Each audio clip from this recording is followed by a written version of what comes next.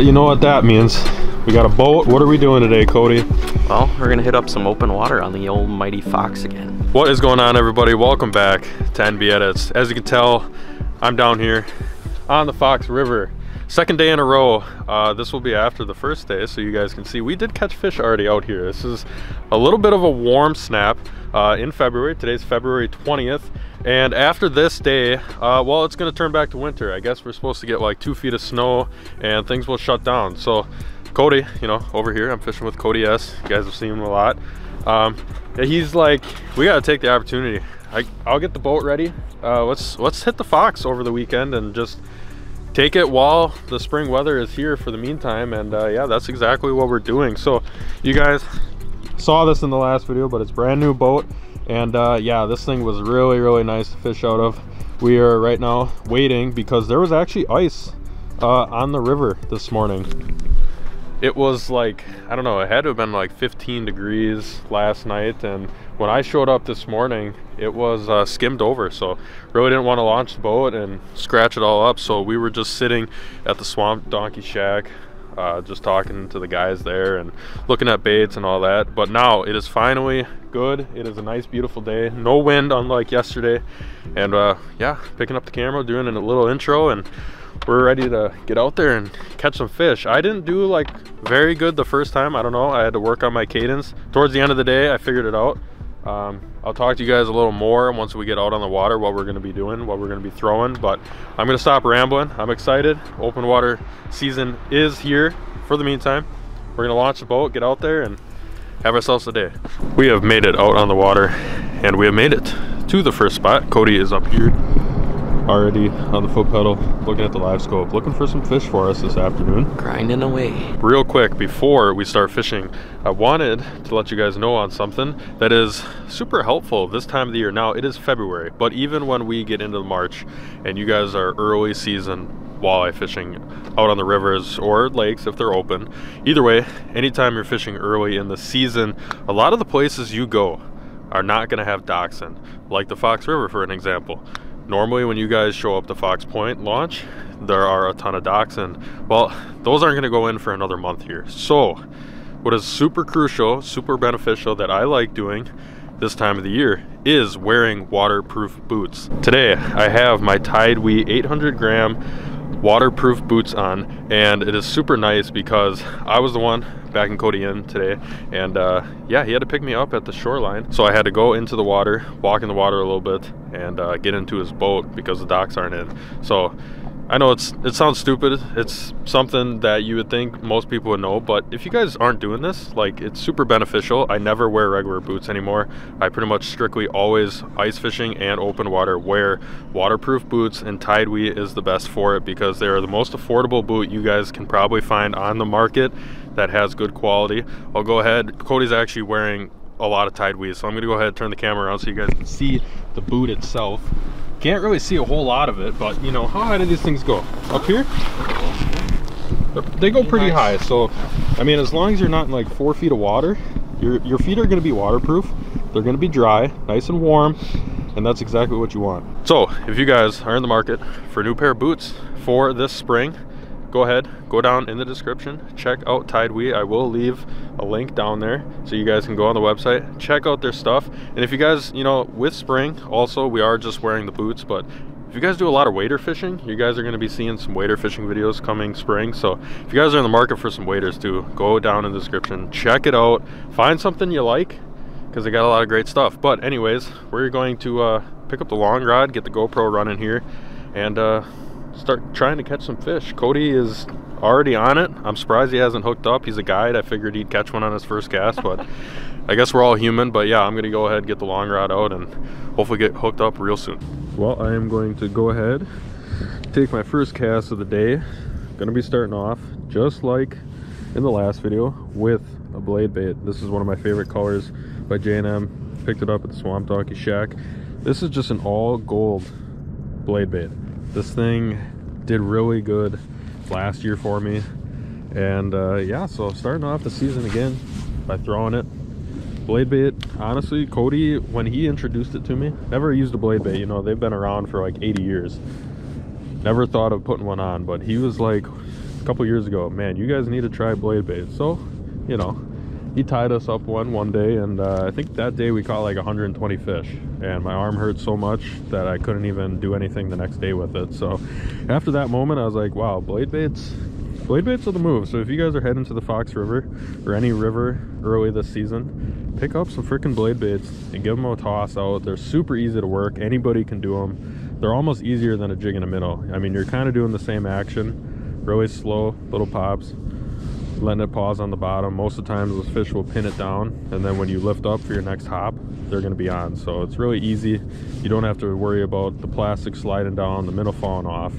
You just cast out, work it back, keep doing that and you're gonna catch a pile of fish. At least 10 miles of each other, so it's not like you have to, you know, it's not like you're making a 30 mile run to go fish a different spot. Right. Unless you're going all the way up to Death's Door like we did that one day. Yeah, that was far. There you go. There we go. Is it gonna be the right species, Cody? I think Cody just snagged something. I was real enough to grab the net. First one on the blade for me. Oh, I have kind of the same situation going on here, Cody. Well, that was something. That's something. First fish of the day for me. Look at that thing. Smallest walleye I think I've ever caught on the Fox River, ever. Yeah. That's like, this is literally what you see on the Wisconsin River.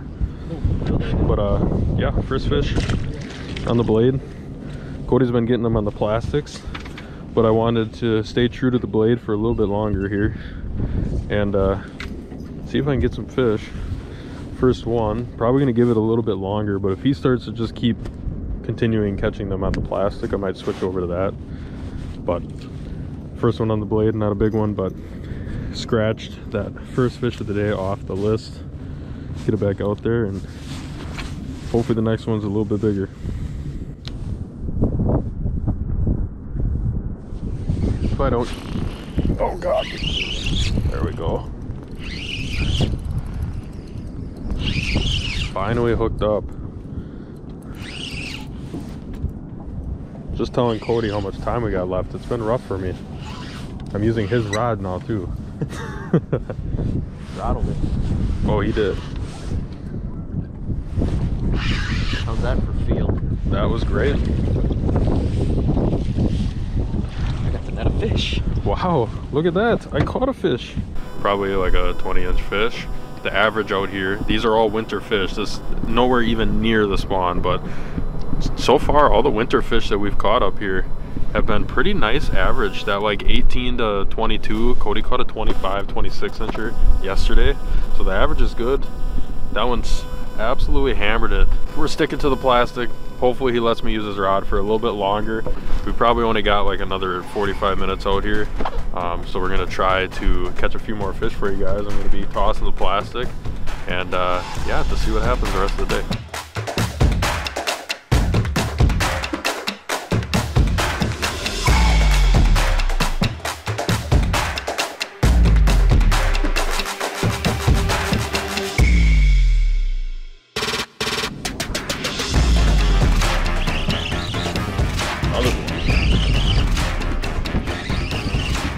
Just hammering.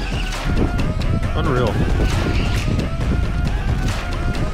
Unreal, Cody.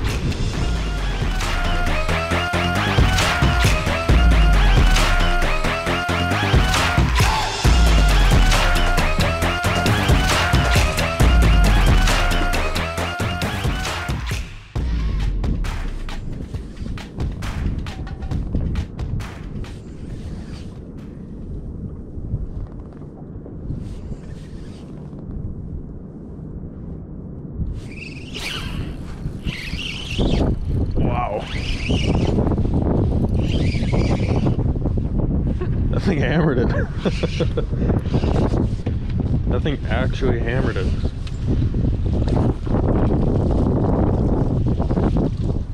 What is going on? Did you get that on camera? I did. Well, that was the cast right after I caught that last one. Unreal. That one hammered it. Every single one, well, these last couple that I've had, have been laying on the bottom. This might might be one of the last ones. Um, we did, really, the whole time we were going to stay out here uh, was to catch fish and film a video for you guys. And yeah, that was the main reason why we are going to stay that extra half an hour. And now the fact that I just caught a couple in a row it, it's crazy. I mean, I really don't want to stop, but I do have stuff to do because it is a Monday. I got to work tomorrow. Still got to edit this video. But uh, yeah, absolute blast out here. Um, probably, okay, I'm going to maybe do one more just because that was real fun. But yeah, absolute blast out here. Most likely, though, I will talk to you guys back at the landing and uh, maybe even I'll show you guys the Swamp Donkey Shack just because I've been talking about this and I don't think I've actually ever showed it in one of my videos so you probably have no idea what I'm talking about so maybe I'll go show you that and just kind of give you a quick rundown of what it looks like inside. It's still insane that I literally get your rod and just start catching fish immediately with it. Oh God, Cody, Jesus. I was just dragging it kind of like half-ass on the bottom. like a good one. All right. Not bad. Not bad. Not bad at all. Uh, what I've been saying in the last, how many fish have I caught now? I think this is the fourth one in a row. We did relocate a little bit. We went down, down river a little bit and uh, this one ended up hitting i'm like it doesn't even matter how i'm working this thing at this point. Like i'm dragging it i'm pausing it i'm not even freaking doing anything and they're still hitting it. I honestly think i don't know I, I feel like i was doing something wrong. I had to have been doing something wrong because up until using cody's rod i wasn't catching any fish. I don't know but i'm not complaining. That's in the past. We're catching fish. I'm gonna get a release on this guy. Right away See ya. God, that was a fatty. Yeah. Man. nice one. Yeah, the reason we were coming down river is because we're just kind of hitting a few spots on our way back to the launch so we can get off the water. But yeah, scanned, found a few fish, took a cast, half-ass dragging it, laying it on the bottom, and uh, that's all it took, I guess. One last fish for the day.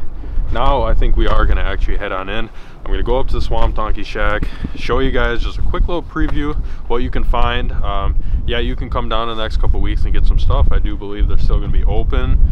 But uh, yeah, most likely, you know, come March, you guys are going to want to stop there, get some stuff. Anything that you will need for walleye fishing will be in there. So go in shore, show you guys that real quick, and uh, yeah, get on with my day. Well, there he goes. Cody is out of here. He's gonna try take that thing to a car wash, get it cleaned off, get it waxed. Thing's new. You know, it's kind of like his baby. So he's gonna go do that before it gets too dark. But I'm on my way right now to the Swamp Donkey Shack, which if you guys have never been here, here's Dairy Queen, here's A&W, and the shack is right outside of it. Right here, this is what it looks like. Swamp Donkey Bait and Tackle this is uh, this is where you're gonna want to be to get all of your walleye fishing needs when you guys come down here. Howdy. Hello. Go over here, you guys can see got a whole bunch of worms. You guys got a whole bunch of husky jerks here. Keep on going. You got your perfect tens, all custom colors. Rip and wrap wall, blade bait wall, your jigs, your hair jigs, more jigs, both your minnows, whole bunch of stuff in here as you can tell this is all stuff that has been proven out here on the Fox River. Holy cow. I don't know how long I was in there for, but uh, I was talking to some guys that walked in doing some fishing, talking about some stuff. But uh, yeah, it's freaking a blizzard out here all of a sudden. Like I said, while I was filming that video earlier today, uh, it's gonna turn to winter. And guys, it freaking turned to winter. It is like I'm in a snow globe right now. Uh, so yeah, I got a little bit of a drive. I got about a two hour drive home. So I better be getting on the road. But uh, yeah, this is where I'm ending today's video. Again, that's the Swamp Donkey Shack. Like really, really quick walkthrough. But you know, uh, that's where it's at. Anything you guys will need for the Fox River, uh, it's going to be at that. They have two locations here and across the river. So if you guys need that last minute thing when you show up that you didn't bring, head in there, get it. But like I said, yeah, I'm gonna get on out of here. Hopefully you guys enjoyed today's video. Not super uh, fish packed. Um, I think I caught five fish today, which is nothing crazy. But again, these are winter fish. The spawn is not even close. I mean, this is pre, pre, pre spawn fish. These are just ones that live in this river system. Nothing has pushed up yet. It's gonna freeze back up probably tonight into tomorrow. And uh, yeah, so we're gonna have to wait another couple weeks before we get out here. Again, big thank you to Cody. He left a long time ago before I even went in the shack. If you guys wanna fish with Cody, and check out any of his stuff. I will leave that all down below because he's a great guide. He'll get you guys on top of fish. And once the spawn really gets going, he's going to put you on probably your PB. So make sure to go check that out. Again, check out Tide TideWe as well. I'm going to get on out of here. Like the video, subscribe if you guys are new. I will talk to you guys on the next one. Tight lines from NB Edits.